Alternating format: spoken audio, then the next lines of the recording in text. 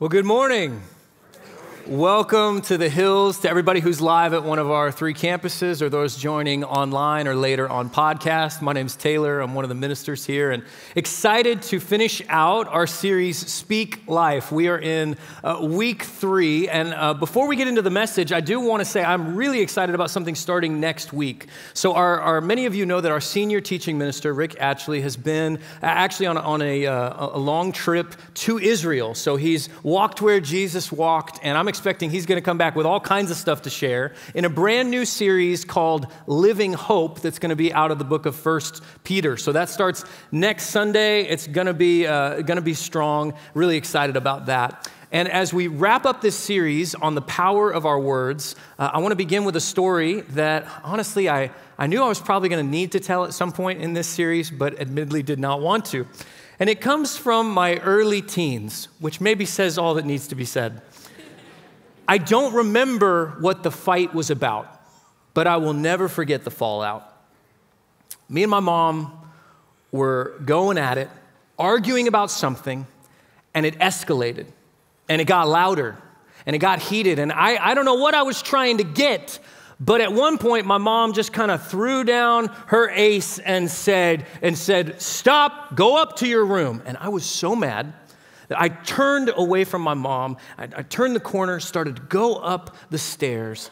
And as I stomped up the stairs, I, well, I had accumulated a vocabulary in, in middle school that I had started learning. And and for uh, and, and i had you know I'm, I'm, a preacher's kid so i know how to play this you don't say that stuff at home you don't say that stuff at church but in that moment all of a sudden the floodgates opened and i just let loose everything i had learned over the last few years under my breath, cursing up the stairs. And I'm smart. I didn't say it loud enough that my mom could hear, but I said it out loud so I knew I could say it. And I said some things at her under my breath. And I stomped up the stairs, turned the corner to go up the next little short flight, cursing under my breath the whole way, and looked up, and there was my dad at the top of the stairs. You already know. Seven kinds of dead meat. Like it was over. Because I look at his face and I don't have to wonder if he heard. He heard every single word I had just said towards his bride. Sent straight to bed. The next morning was a Saturday morning, and while my brothers slept in, I was brought out of bed at 6 a.m. and brought down to the kitchen table for the sentencing. And I remember sitting there talking with my mom and dad, and my dad said, You know, son, ever since you were a little boy, we have said that those are dirty words. And I don't think you know what that means yet. And I'll never forget, he, he walked over and he brought a plate of dirt. And there was a spoon, which was especially concerning. Now, I talked with my parents about this story this week, and, and my dad, uh, my dad said, please let people know. Number one, I was an oldest child and they overreacted. He said there was a way more Christ like way to make this point. so, this is not parenting advice. Number two, my dad said, please let them know that we did not make you eat the plate of dirt. And yet, they did have me take a big spoonful of that. And they said, I want you to hold that in your mouth while we finish this conversation. And I remember sitting with that clod of dirt in my mouth, listening to what else they had to say about the effect of my words, and going to the bathroom, spitting all that out, washing out my mouth. And then one more piece of the sentencing, besides being grounded for I don't know how long.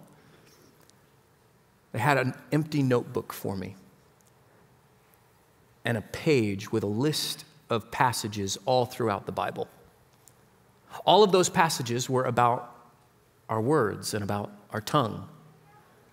And it was my job to go through and write every single verse, handwritten three times in cursive. And I spent the weekend doing that.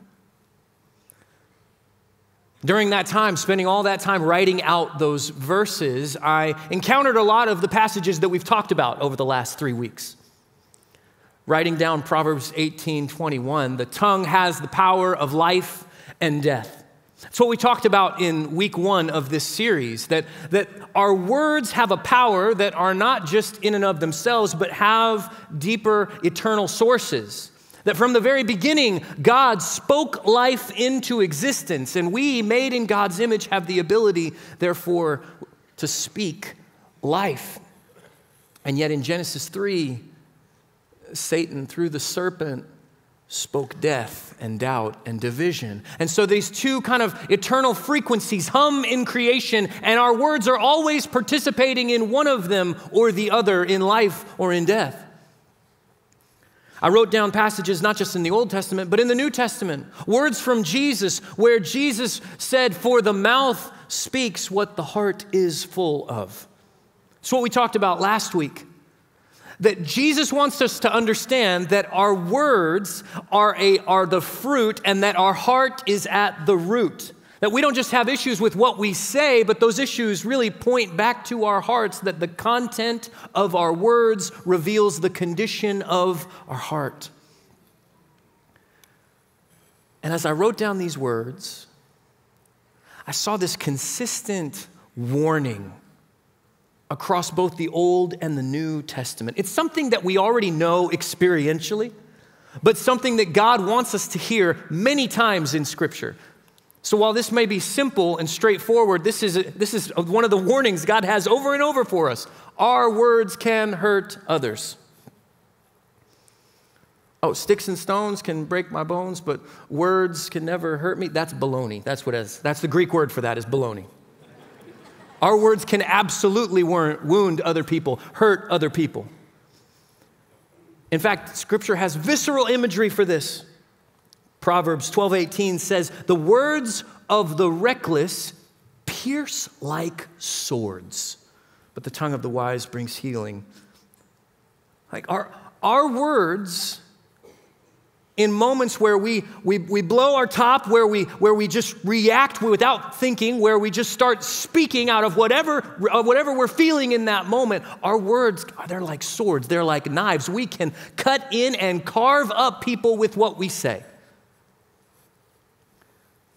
But sometimes it's not just that our words are happening and, and we're, we're, reckless with it. And we go, oh man, I'm, I'm sorry, I, I, didn't mean that, or I'm sorry, I shouldn't have said that. It's also times where we come and we're looking for the fight. Proverbs 16 28 says, A perverse person stirs up conflict. Uh, there's times where, with that grudge we're holding, with that frustration we have, we come ready for our pound of flesh. Or sometimes we won't say it to their face. The other half of the verse says, And a gossip separates close friends. Sometimes it, we won't just say it behind somebody's back, like I, I, did with my mom, but not to anybody. No, sometimes we're saying it behind their back, and we're saying it to anybody who will listen. And I've thought about this, this imagery of this dirt. Dirt is where stuff grows. And in a garden, that should be a really good thing. But in the point that my parents were trying to make, I look back and think, oh man, when our words are dirt, they're providing a place for things to grow that we shouldn't be nurturing. Our words sometimes are the kind of dirt that are helping to grow pain in someone else's heart. Our words are the kind of dirt that are hoping, help, helping to, to, to air somebody else's dirty laundry and, and grow division in relationships. Our words are the kind of dirt that are trying to, to tear someone else down in order to try and build ourselves up. And what's growing there is pain. What's growing there is insecurity. What's growing there is division. What's growing there is sin. And since all of us talk every single day, the challenge is it feels like there's, there's, uh, there's all kinds of ways to get it wrong, all kinds of landmines to step on in different conversations. And sometimes, sometimes Proverbs 10:19 actually has the best game plan, which some of you already you do this game plan really well, more than some of us who sometimes talk too much. Proverbs 10:19 says, "Too much talk leads to sin. Be sensible and keep your mouth shut." Somebody's not a note taker and they're like, "I'm writing that one down. I need to remember that Bible verse." But really there are times where what we need to grant someone is, I love this, a friend, I heard use this phrase, the gift of withholding, of knowing what, what shouldn't be said. But it's not just that our words can hurt others. When I started writing all those verses down, I also noticed that there are warnings that our words can hurt our witness. All three weeks of this series, we've looked at something in the book of James, because uh, James, this early church leader who was the half brother of Jesus, he has a lot to say about our words. And I want to show you uh, one passage we haven't looked at. It's in, it's in James chapter 1, where he writes and says, Those who consider themselves religious and yet do not keep a tight rein on their tongues deceive themselves, and their religion is worthless. I looked up that verse in a lot of other translations to try and see if I could find a different word, but most of them, the vast majority, end with the word worthless because that's what James meant. What that tells me is that this conversation about the power of our words is about more than whether or not we are kind to one another, although that's important. It's about more than whether or not we are encouraging to each other, although we should be. This conversation is also about our witness to the world. What is our faith worth to others in James's language? So let me just paraphrase for a second what, what I hear from James. If they know we go to church, but then they hear how we curse at work, if they know we go to church, but then they watch us talk bad about everybody around us. If they know we go to church, but we sound like everybody else in the neighborhood, everybody else at school, everybody else at work, James says, then our going to church isn't worth that much in terms of our witness to the world.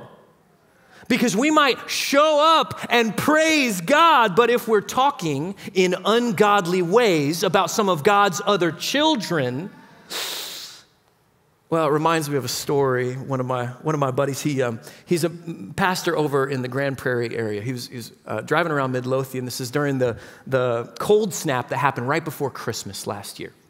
His tires got low, like happened to a lot of us.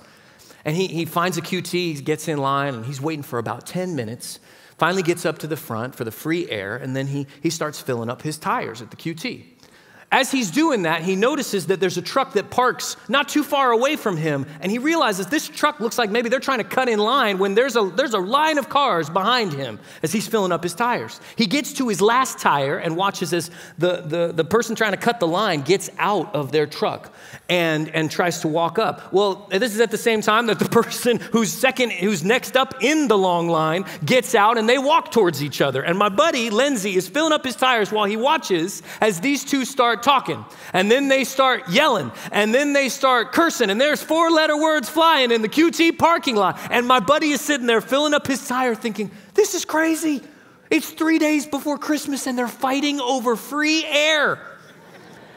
And they go back and forth, and, and, I mean, every word you could think of is coming out. And finally, it was either they were going to come to blows or head to their cars. And one of them, kind of done with everything, after throwing a few more in, just says, God bless you, sir, and turns to leave. and at that point, my buddy had had enough. He stood up, went into pastor mode. He goes, Gentlemen, it is three days before Christmas, and you are cursing out each other over free air. Get back in your trucks. Everybody's going to get the air they need. That's enough. And then he got in his car and drove away. he, he said after that, he said, he said, What happened next? I don't know. You might have to ask the Midlothian Police Department. But man, one of those moments that actually is a, is a real life picture of what James says in chapter 3. With the tongue, we praise our Lord and Father, and with it, we curse human beings who have been made in God's likeness. Out of the same mouth come praise and cursing. My brothers and sisters, this should not be. Now, at this point in the lesson, I, I, feel like it's important to help you here that I believe that these warnings from God are spoken in love. The point, some of you are like, man, church, the sermon today is just bummer. This is, this is a downer. But what I want you to hear is I believe God communicates these warnings to us as a father in love because he wants us to understand reality. And the reality is our words can hurt others, and the reality is our words can undermine our witness in the world.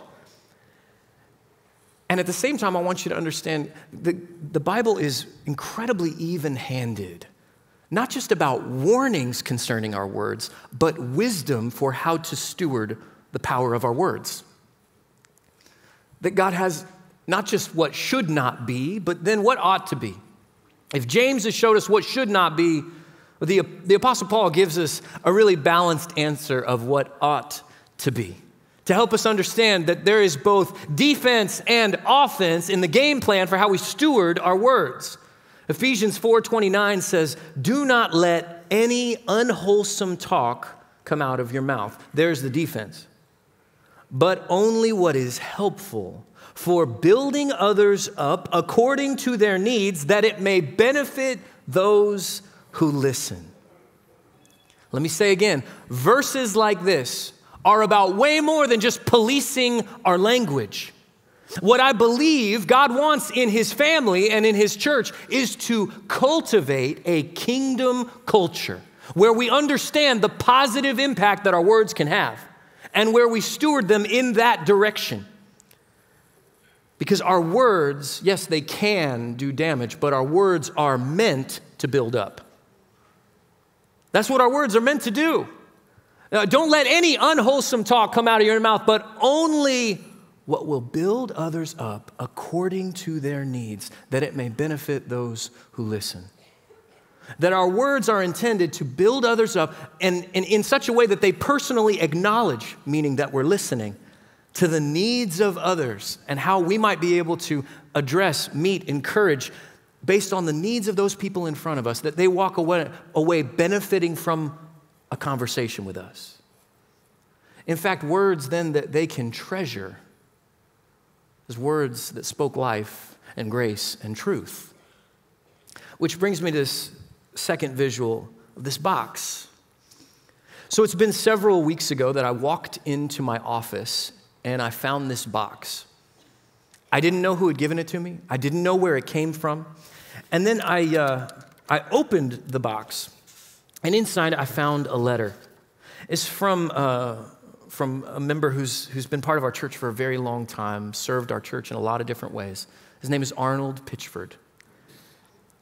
Arnold wrote that, that this box is made of, uh, of wood that was taken from his farm, and he had a carpenter build several of these boxes to give as gifts. And he writes that, that these are what he calls this is a love box. Arnold has one of these boxes, a, a love box, and in it, he keeps notes of remembrance from his kids, from his grandkids, from his wife who has now gone on to be with the Lord. He said it's become a place where he stores up words like treasures. He's, he wrote that one of, the, one of his absolute favorite notes that he keeps in his love box is from his wife, Lil, during her battle with cancer. And it's just a short little note that just says, I love you so much. That's his favorite note that he, that he has. And he said, I, I want some people to have one of these so that you can keep and treasure words from people in your life. And he wrote, I know you will treasure the contents far more than the box. Oh man, I, I, I, was blown away by his generosity and kindness. And at the same time, I also thought, this is the picture. This is the picture right here. That you and I have an opportunity through our words to say things that people will treasure. In fact, here, here's, here's some, some language from Proverbs that, that paints this picture. Words spoken at the right time are like gold apples in a silver setting. That with the words that we communicate to others, the words we use to build up others, they become treasures that are stored in someone's heart. Our words have that kind of power. And, and, and, as an experiment, I asked people online this week what are some of the most powerful words spoken over you? The most powerful words. And there were hundreds of responses. I don't have time to share all of them, but I'll share three kind of categories that broadly came out. The first category were words of wisdom and truth. People answered what were the most powerful words? They wrote things like, Test everything you are taught against what Scripture teaches. Somebody wrote that the most powerful words, one of the most powerful words were, You are not responsible for other people's actions or emotions. Somebody said, the advice was this what you set your heart on now, your feet will follow for years to come. And this category of words of truth and wisdom, there are times where we just need people to point us in a direction, to steer us with wisdom based on their own experiences, wisdom based on scripture, truth to understand reality as God defines it. The second category of words was the vast majority of responses. And I would categorize it as words we all long to hear. Words like, I love you. People wrote the most powerful words, I forgive you. I believe in you. You are enough. I am proud of you. Pretty much every single one of those had multiple people who answered this way. That these are the words we long to hear. And, and it's, it's interesting to me that the words we most long to hear don't take long to say. They are short sentences that can have a lifelong impact on someone. So, so let me just pause and ask for a second.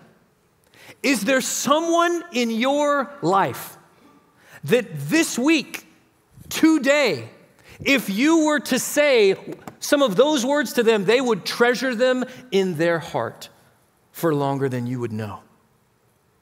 Is there somebody in your life that if you were to look at them and say, I forgive you, that that could be one of the greatest gifts, a manifestation of God's grace that you speak over them?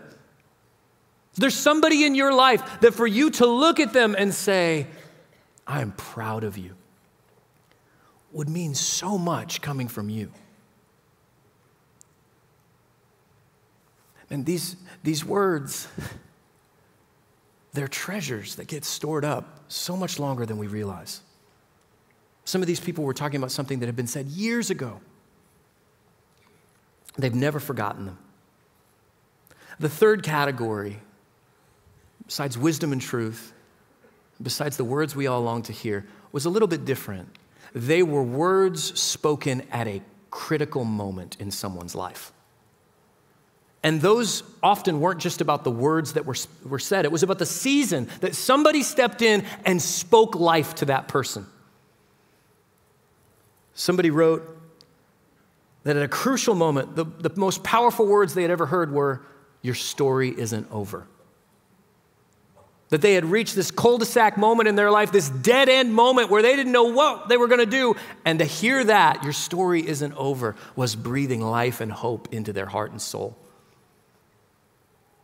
For somebody else, it was when they were fired from their job, questioning their worth, and a dear friend made them look them in the eyes and then spoke to their value and worth and dignity as a man, as a husband, as a father. And that was the moment they needed those words. One woman shared about a, season of caring for aging parents, one of whom was in a facility, a trying and, and, and exhausting and in some ways thankless season. And somebody looked at them and said, You are a good daughter. And that was, that was what she needed to hear in that moment. Sometimes it's about wisdom and truth. Sometimes it's words all of us long to hear. But sometimes it's about stepping in at just the right moment. And we might not always know if God will, if we have the words, but to ask God and step in trusting that I can speak life right here because this is a time when somebody needs it.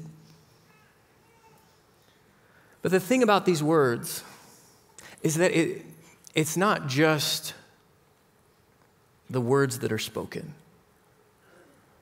But a lot of people testified it was the voice that was speaking it.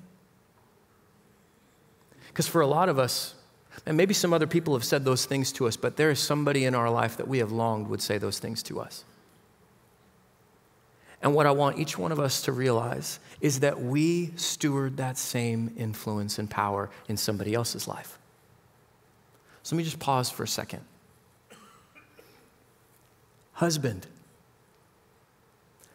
your words, when spoken thoughtlessly, can stab into the side of your bride like a sword. But your words, when spoken in affirming love, become treasures in her heart for the rest of her days. Wife, your words can absolutely cut down your husband's sense of confidence. But your words have the power to build him up that he stores inside more than you know. Parent, mother, father, your words. It is hard to overstate the power with which you can speak life into your children. And they may not always show that they're receiving it that way, but it becomes treasure stored in their heart that carries into their adulthood for the rest of their days. Son or daughter, I don't know what your relationship is with your parents, but you need to know your words to turn back around and say, I'm so grateful to God for you, mom or dad to say, I'm, I'm, so thankful for the ways that you've loved me. For I see the ways that you've served. When you say those things, you do not know what it can mean. I mean, you might know because they might just cry as soon as you say it. But you have a power. I mean, this is true for you as a sibling, as a brother or sister. This is true for you as a friend. This is true for you as a coworker. God has given every single one of us the ability to steward our words. And the question is when we look at what we're saying to the people around us, to the people we spend the most time with, to the people that are closest to us, where would our words belong right now? Are we saying things that are providing a place for things to grow in our life and in someone else's heart and in our relationships that we do not want to nurture? Or are we saying things that people could take away and store in their heart for the rest of their days? Because God has given each one of us that ability. And God has modeled it for us in love and grace. Author Philip Yancey, he writes about a survey of the words people most want to hear. And there were different phrases ranked. The number one spot won't surprise you Number one spot was, I love you. The number two spot for the words we most want to hear are, I forgive you. But the third spot surprised him. Uh, number three on the list of words we most want to hear are, Supper's ready. and Yancey pointed out that those three words inadvertently tell a little picture, tell a little story of the gospel. That God, the words God has spoken over us is, I love you. While we were still sinners, Christ died for us. In the midst of our failure, in the midst of our pain, in the midst of our sin and rejection from God, God spoke love over us. And Jesus came to earth and, and through his death, burial, and resurrection, Jesus not only did something that would, that would have the last word over Satan and over his accusations against us, but Jesus also spoke a word of forgiveness and grace to say, I forgive you. On the cross, even as he was being crucified, he said, Father, forgive them, for they don't know what they're doing. And then Jesus sets the table for us. In fact, every week as a church, we take communion, and it's an opportunity to hear a divine word of, hey, supper is still ready. The body broken, the blood poured out. We remember that, but there is an eternal banquet coming A promise from Jesus, who, when he ascended to the right hand of God, he promised that he would come back and gather all of God's family, all of God's children, all of God's kingdom, and we would be at a wedding banquet, that we'd be at a table, and the Spirit and the bride in Revelation say, Come, the supper is ready. There's an eternal feast waiting for us because God, oh, He has spoken the better word. In fact, Hebrews says that Jesus' blood speaks a better word over us. And so when we speak life, we, we speak aligned with what God has said, what God continues to say, and what God promises will be the echo of eternity. So for you and I, each week in this series, we've had a, a, a practice, a simple way to apply this. And this week, I want to invite you to take this practice to speak life by blessing others. Now, I, I chose that word intentionally because God, after He created the world, after He spoke life into existence, He blessed it, He called it good. And then throughout the Bible, there's this echo of blessing. It happens in the Old Testament, a lot of different places. It happens in Jesus' ministry.